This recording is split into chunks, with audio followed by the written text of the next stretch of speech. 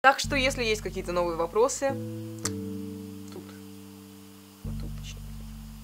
На этом уровне. Чуть пониже. Там.